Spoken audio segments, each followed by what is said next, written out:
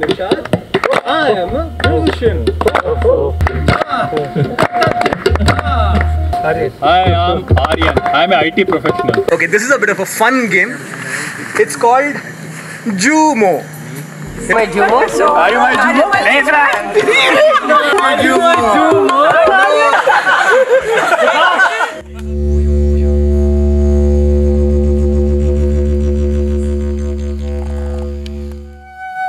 thoughts become weightless, like whips of clouds on the breeze. Now, It is not always that you're meditative or you are in a state of meditation. waiting for you. The boat is comfortable and sturdy.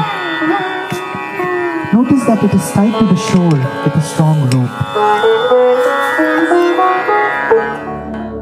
The reason we have come to nature to start this off is the five elements will really play a big role, and you are away, and somewhere your mind is also prepared to receive whatever it wants to give you.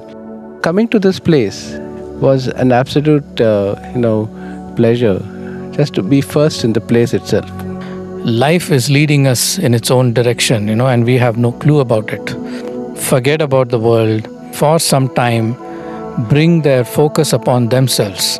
games part was very nice because they made us really relax ourselves. Whatever tensions of the city life we had, it was really gone.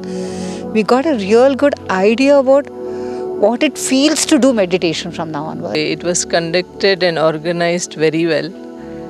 And in the end of it, it was a different world and difficult for us to open our eyes and get back to the normalcy.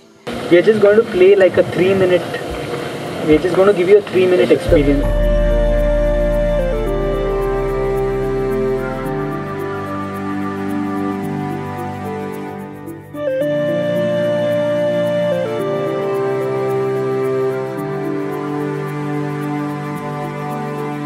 first time experiencer of this particular healing it was uh, very effective to me A healing process happens in three ways. We target your body, we target your mind, and your soul automatically opens up and experiences beautiful things.